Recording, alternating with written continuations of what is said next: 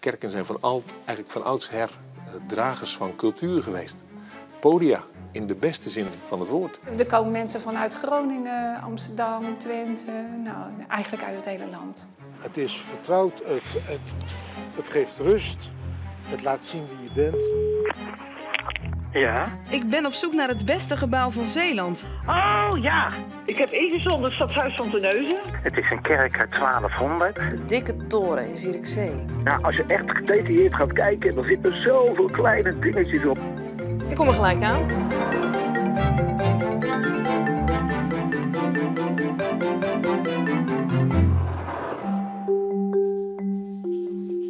Wat hebben we toch met kerken? Ze zijn heel veel ingezonden. Oude kerken met name. De monumentale gebouwen die de tijd hebben getrotseerd en zo een brug slaan van heden naar verleden. Ruud Pos woont in Zeeuws-Vlaanderen, maar was jarenlang geschiedenisleraar in Zierikzee. Hij keert er graag terug en niet zonder reden. Ruud, waarom heb je de nieuwe kerk in Zierikzee ingezonden? Eh, dat gebouw dat steekt boven alles uit. Dat zet je als mens eigenlijk eh, met je beide benen op de grond. Een gebouw wat zich bewezen heeft door de eeuwen heen. Een gebouw wat eh, sierlijk is, strak is, dominant is. Dat laat zien in de stad, dit ben ik, dit is het gebouw, waar sta jij? De sluiting van kerken is heel actueel. En of je nou gelovig bent of niet, het brengt heel wat teweeg. Het raakt de mensen. Michiel de Zeeuw heeft er wel een verklaring voor. Een soort middelpunt. Ik denk dat het daar oorspronkelijk ook voor bedoeld is. Eh, kerk betekent letterlijk dat je weggeroepen wordt om even bij elkaar te zijn, om een ander soort ontmoeting mogelijk te maken. En wat waardevol wanneer een kerk ook herinnerd wordt en gebruikt wordt eh, omdat je er terecht kon, hè, omdat je er kon schuilen. En hoe wij schuilen, dat gaat niet alleen maar in, met zaken van het hoofd, dat gaat om je hele wezen. Dus dat is een waardevol onderdeel van hoe deze kerk bestaat en ook voor heel veel mensen belangrijk is. Er zijn heel veel mensen die kerk hebben ingezonden. Waarom kiezen mensen voor een kerk, denkt u? Omdat in deze drukke tijd er eigenlijk zoveel dingen zijn die ter discussie staan. En men zoekt een punt, een eikpunt. Dit gebied dat grenst aan waar het dagelijks leven zich voltrok. Nou, dit is een bijzonder gebouw, want het is een gebouw dat verwijst naar een gebouw dat er niet meer is. Dus als je voor de nieuwe kerk staat, dan zie je in de beleiding waar de oude kerk, die door brand verwoest is, uh, gestaan heeft. En de dikke toren naast deze kerk, dat is eigenlijk een soort meerpaal. Die houdt heel veel mensen uit Zierikzee, mensen van Schouwen-Duiveland, op hun plaats. Mensen willen graag de dikke toren kunnen zien. En daar hoort deze kerk eigenlijk bij. Je voelt eigenlijk het verleden en het heden treffend bij elkaar komen. Als je hier de toeristen op dinsdag uh, met een uh, toeristenmarkt uh, naar binnen ziet lopen over dat paadje, dan kachelen ze voorbij, maar ze gaan niet binnenkijken. En dat moet je doen. Je moet boven op die toren wezen. Dan moet je, kan je over de stad zien, dan zie je het oude stadspatroon. Dan snap je hoe het in elkaar steekt.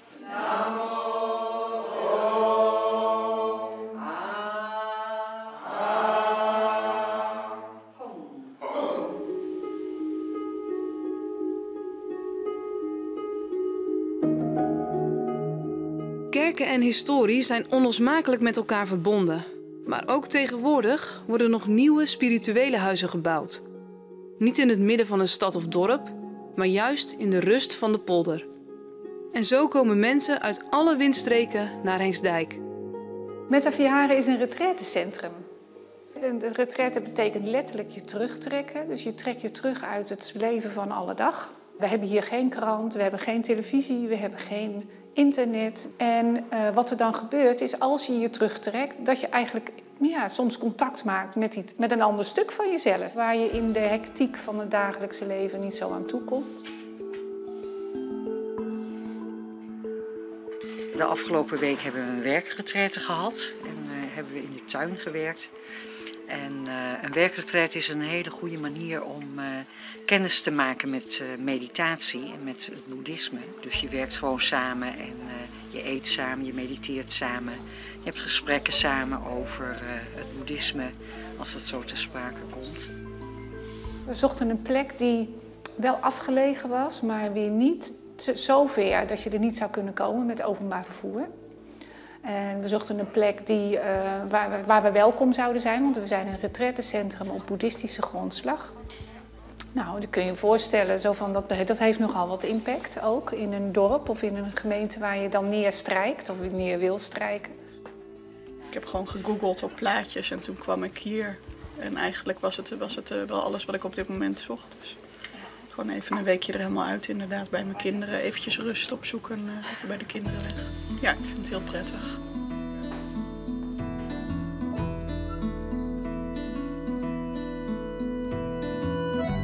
Het is wel heel fijn dat die omgeving zo uh, bijzonder is. Ik merkte bijvoorbeeld in mijn meditaties dat heel veel van de landschappen terugkwamen in mijn meditaties. Ja, dat, is wel, dat maakt de plek natuurlijk wel heel speciaal. Zo'n uitzicht, zo helemaal in de verte kijken, zo ver, zo ver als je maar kan zien. Ja. Je kan ze bijna niet zien. Ja. Maar wie heeft hier nou verschrikkelijk hard gewerkt? Ja, Caroline. Prachtig.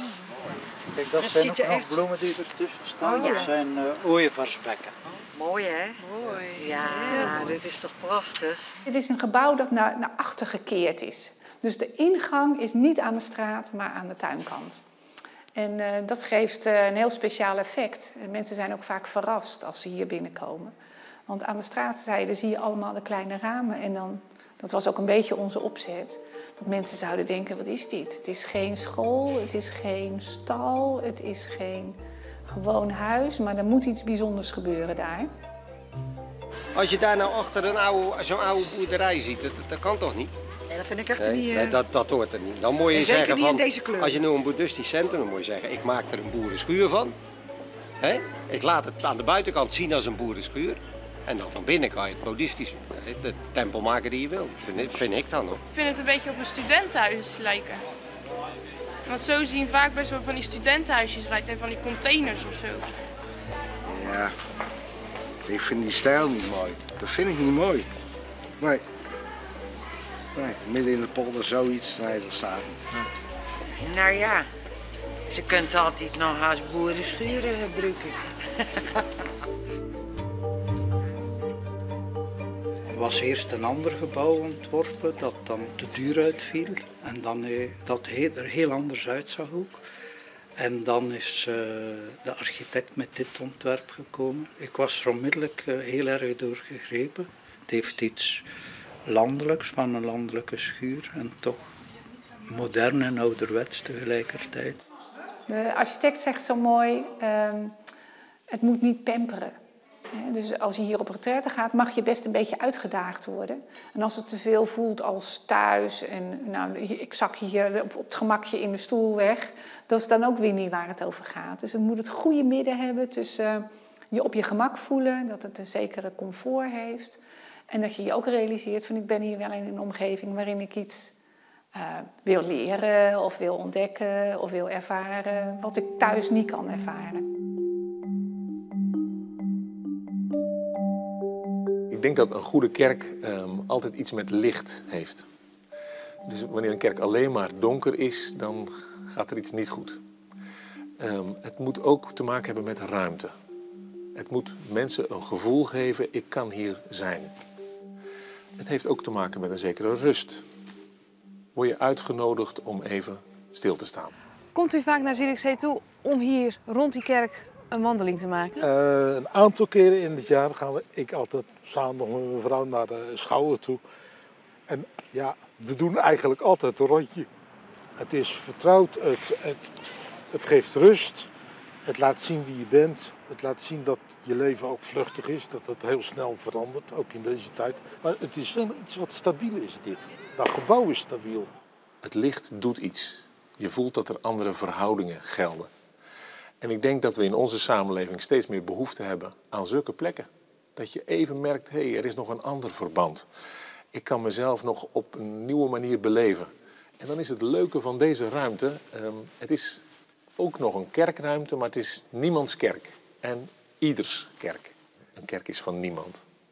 En een kerk is van iedereen. Ik ben eigenlijk ook wel heel benieuwd naar de binnenkant van de kerk. Ja, ja. nou dan gaan we er binnen.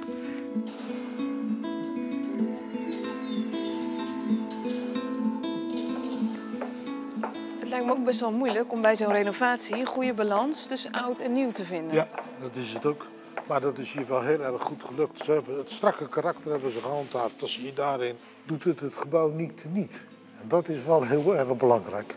Je moet het aard van zo'n gebouw moet je respecteren.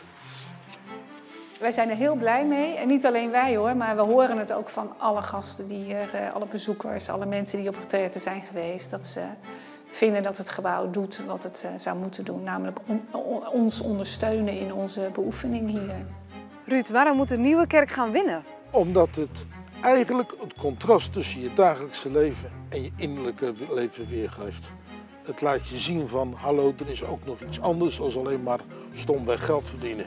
Het zegt dus eigenlijk iets over van, waar sta jij? Wat doe jij in het leven? Nou, ik heb het genoteerd. Oké, graag gedaan. het is niet de originele Lange Jan zoals die vroeger, vroeger, vroeger is geweest, hè? Ik begrijp het. Maar hij is steeds weer opnieuw gekomen, steeds weer omhoog gekrabbeld. Lukt er uit de merg ook, want onze Lange Jan komt steeds weer omhoog. Ik vind het fantastisch. Ik ga er naar kijken. Wel leuk. Op welke plek kom jij tot jezelf? In een kerk of ergens anders? Laat het weten via de website van Omroep Zeeland. Je kunt er ook terecht voor informatie en allerlei extra filmpjes. Ga naar omroepzeeland.nl slash steengoed.